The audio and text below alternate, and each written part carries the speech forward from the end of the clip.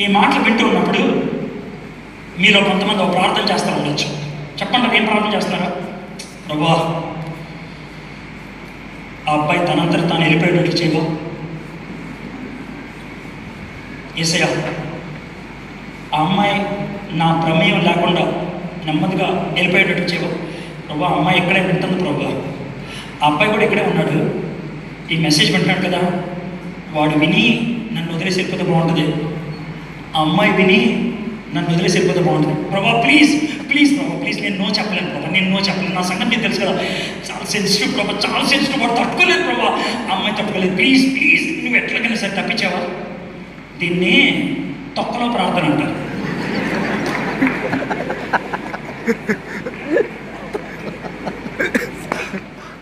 ఈ ప్రార్థనకి పొరపాటు కూడా జవాబు అదేంటి సార్ అంటే మనం చేయాల్సింది చెయ్యకపోతే దేవుడు చేయాల్సింది చేయడు నో చెప్పడం నీ వంతు ఒప్పించడం ఆయన వంతు.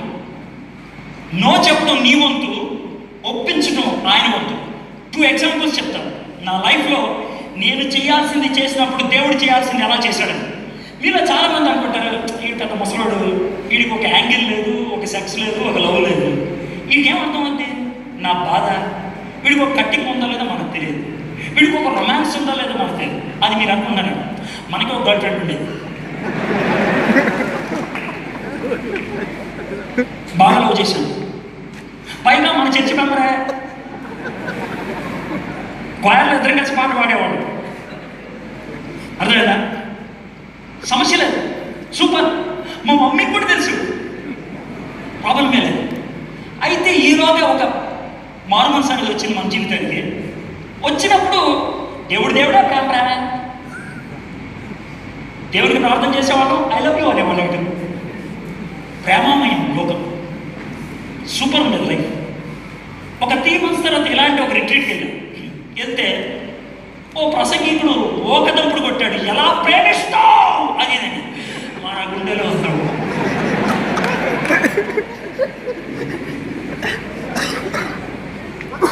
నాకు ఫ్రెండ్ ఉండేవాడు.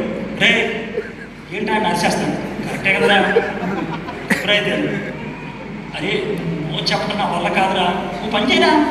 ఉపవాసం ప్రార్థన చేయి. త్రీ డేస్ ఉండరా ఉపవాసం? ఓకేరా మూడు రోజులు ఉంటుంది. మమ్మీ కూడా చెప్పు. మమ్మీ రిట్రీట్కి వెళ్ళాను. నువ్వు చెప్పాలనుకున్నాను. త్రీ డేస్ ఉపవాసం ఉన్నావు. ఓకేరా అన్నాను మొదటి రోజంతా ఒకటే అంశం ప్రేయర్ ఏంటో సార్ దేవ నీ చిత్తానుసారంగా ఏదడిగినా ఇస్తాను. అందరూ మారు మనసు పొందడం నీ చిత్తం. ఆ అమ్మాయి మారు మనసు పొందేటట్టు చేయకూడదా? చెక్లేకపోతే మనకి. నేను అడుగుతుంది నీ చిత్తమే ఒక రోజంతా ప్రార్థన చేశాను మనకేమనిపించింది రెండో రోజు. ఇది అవ్వట్లేదు ప్రభా. నాకు నో చెప్పడం కష్టం అనిపిస్తుంది ప్రభా. ప్లీజ్ ప్రభా. ఈ రెండు రోజులు అంతా నడిచింది. మూడో రోజు ప్రభా ధైర్యం ఇచ్చే ప్రభా చెప్పేస్తాను. సాయంత్రం ఐదు గంటలకు మనకు స్పాట్లు ఉంటాయి కదా. రమ్మన్నా. వచ్చేస్తాను చెప్పాను ఇది విషయం నేను మారు మనసు పొందాను. మారు మనసు పొందిన తర్వాత ఇలాంటి లవ్వులు గివ్వులు ఉండడానికి వీల్లేదు? నెంబర్ వన్ దేవుడి చిత్తంలో నువ్వు నా భార్యో కాదో నాకు తెలియదు మనకున్నటువంటి యాంగిల్ బట్టి ఆలోచిస్తే అది కాదనిపిస్తుంది. కాబట్టి ప్లీజ్ నన్ను వదిలేయమంటే అంటే నమ్మించి మోసం చేయొచ్చా బైబిల్ ప్రకారం? మాట ఇచ్చి వెనక్కి బైబిల్ ప్రకారం? బైబిల్లో వాగ్దానం చేసిన వెనక్కి వెళ్ళిపోయిన ఒక్కడున్నాడా? ఇది ఇది ఇది విశ్వాసం చేసే పనేనా? తెలుగు సినిమాలో ఉండే ప్రతి డైలాగ్ ఉపయోగించారు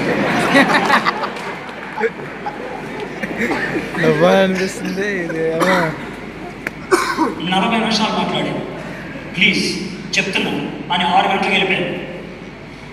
ఒక గంట తర్వాత మమ్మీ అన్నది చెప్పొచ్చేసా కదరా భోంచాను మజ్జిగ అంతట్రా అంతకంటే ఎక్కువ ఎంత రోజు? అన్నం వేసింది మజ్జిగ వేసింది ఉప్పు వేస్తుంటే కలుపుకుంటూ ప్రార్థన చేస్తాను దేవుడు చిన్న తలంపించాడు. అరే ఆ అమ్మాయికి నో చెప్పడానికి మూడు రోజులు ప్రార్థన చేశాడు ఆ అమ్మాయికి చెప్పేశాడు. ఆ అమ్మాయి తట్టుకోవాలా? ఆ అమ్మాయి ప్రార్థన చేసిందా? ఆ అమ్మాయికి సపోర్ట్ ఉందా? భయం చేతులు కడిగేసుకుంటాం ఇందులో కడుక్కున్నాడు మమ్మీ రోజంతా ప్రేరణ ఉంటాను కదా. సరే వెళ్ళరు ఏడింటి నుంచి ఎనిమిదింటి నుంచి పదకొండింటి దాకా త్రీ అవర్స్ ఆ అమ్మాయి గురించి ప్రార్థన చేశాను ప్రభా నేను ఇంత ప్రార్థన చేసిన తర్వాత ధైర్యం వచ్చింది. ఆ అమ్మాయి గురించి ప్రార్థన చేస్తాను. ప్లీజ్ నేను చెప్పగలిగింది నేను చెప్పాను. నువ్వు హెల్ప్ చెప్పావు అని పదకొండింటి పడుకున్నావు పొద్దున్నే మెలుగురా ఏడున్నర ఏడు నలభై ఐదు నా ఫ్రెండ్ వచ్చాడు. ఆడొచ్చా రే అని లేపాడు. ఏంట్రా ఎంత పొద్దునే వచ్చావు? అని అన్నా. నా మనసు మీద పక్కనే కూర్చున్నాడు. ఇలా పడుకొని ఉన్నా కూర్చున్నాడు. ఏంట్రా ఎంత పొద్దునే వచ్చావు అంటే ఏం లేదురా. అది నుదులు దుకేసింది అని అన్నాడు. ఒకసారి ఆలోచించండి. నా మనసులో ఆలోచనలు ఎన్ని వచ్చినాయి తెలుసా జీవితాంతం నన్ను తిడుతూ ఉంటారా?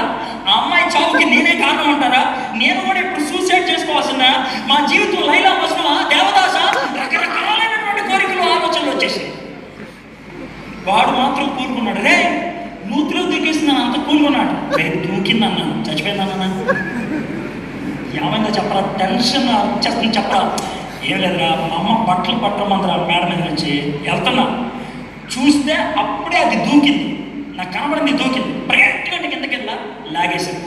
బతికా ఉందా? బతికే ఉందా వరి ఒక సాయంత్రం మన ఇద్దరం ఆడదాం. అమ్మాయ అప్పుడు అర్థమైంది. ఆ మూడు గంటల ప్రార్థన దేవుడు చంపకుండా ఆపేశాడు. సాయంత్రం ఆడు నేను టూ అవర్స్ మాట్లాడాను. వాడే ఎక్కువ మాట్లాడాడు. పిచ్చి పిచ్చి వేషాలు లేదు ఇది మంచిది కాదు దేవుడు నీకు సహాయం చేస్తాడు. కపుల్ ఆఫ్ వీక్స్ అంటాడు మా అయితే ఫైవ్ వీక్స్ సిక్స్ వీక్స్ ఆ అమ్మాయికి ప్రపోజల్ వచ్చింది. చాలా చిన్న వయసులో పెళ్ళి చేశాడు నార్వే అయిపోయింది అమ్మాయి. యూరోప్లో సెటిల్ అయిపోయింది. అమ్మాయి ఎక్కడ నేను ఎక్కడున్నాను తెలియదు. అయిపోయింది. థర్టీ సిక్స్ ఇయర్స్ తర్వాత మొన్న ఈ మధ్యన ఒక ఫోన్ కాల్ వచ్చింది. ఫోన్ లిఫ్ట్ చేస్తే అమ్మాయి వాయిస్. హలో ఎడ్వర్డ్ అని అంటే తక్కువని పేరు ఉపయోగించారు. Anitha?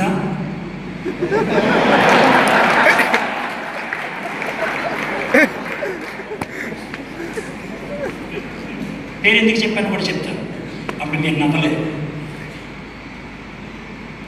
Edward thirty six years తర్వాత నేను కాల్ చేస్తున్నాను. ఎడ్వర్డ్ అనగానే గుర్తుపట్టు ఎలా గుర్తుపట్టావు అన్నాను చాలాసార్లు నన్ను ఎడ్వర్డ్ అని పిలిచావు ఆ పిలుపు నేను మర్చిపోలేదు. అందుకే గుర్తున్నాను. నిన్ను ఒకసారి చూడాలని ఉంది. అంటే సైనిక్పురిలో ఒక యూత్ మీటింగ్కి నేను వస్తానన్నది వచ్చింది. ఎడ్వర్డ్ నేను ఎందుకు చూడాలనుకున్నాను తెలుసా? నార్వే నుంచి వచ్చారు. నాకు క్యాన్సర్ ఉంది. డాక్టర్ మహా అయితే ఒక త్రీ వీక్స్ బతుకుతానన్నాడు. నాకు ఒకటే ఒక కోరిక ఉన్నది. దేవుడిని అడిగాను. ఎడ్వర్డ్ ఒకసారి చూడాలని. ఎడ్వర్డ్ ఒక మాట చెప్పాను మన ఇద్దరం వేరు వేరు పెళ్ళిళ్ళు చేసుకోవడం చాలా మంచిదైంది. ఇన్ని దేశాలు వెళ్ళావు ఇంతమందికి స్వార్థ చెప్పావు. ఇంతమందికి ఉపయోగపడే వ్యక్తి అయ్యావు నా కూతురికి నీ గురించి చెప్పాను.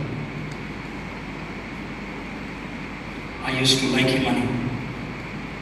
But God has made the best decision నాకు ఒక గిఫ్ట్ ఇచ్చింది. నీకోసం ఒక వాచ్ కొన్నాను. ఇదిగో అని చిన్న గిఫ్ట్ ఇద్దాం అనుకున్నాను కవర్ ఇచ్చింది.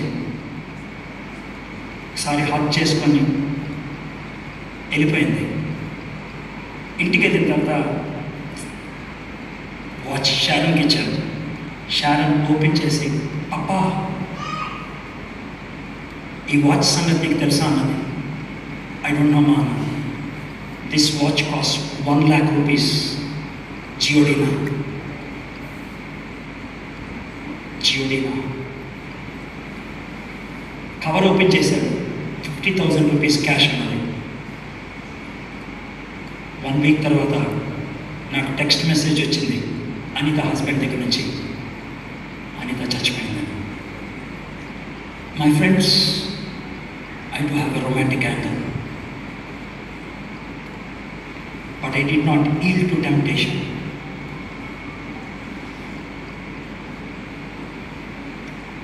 I did not give myself to my dirty, lusty desires. Joseph కూడా అదే చేశాడు. తాను చేయగలిగేది తాను చేసి దేవుడు చేయాల్సిన దాన్ని దేవుడికి అప్పగించాడు. ఆల్రెడీ కమిట్ అయిపోతే నెత్తి మీద చేసుకొని ఈ కాళ్ళు పట్టుకొని మిమ్మల్ని బ్రతిమలాడుతున్నాను. వదిలేయండి. వదిలే వదిలేయండి it's not right give God the chance Joseph chance ఇచ్చాడు. దేవుడు ఆశీర్వదించాడు. నాకు తెలిసి మీరు చాలా సీరియస్గా ఉన్నారు. అంత సీరియస్ అవుతుంది అనిత పరలోకంలో ఉంటుంది. నేను కలుస్తాను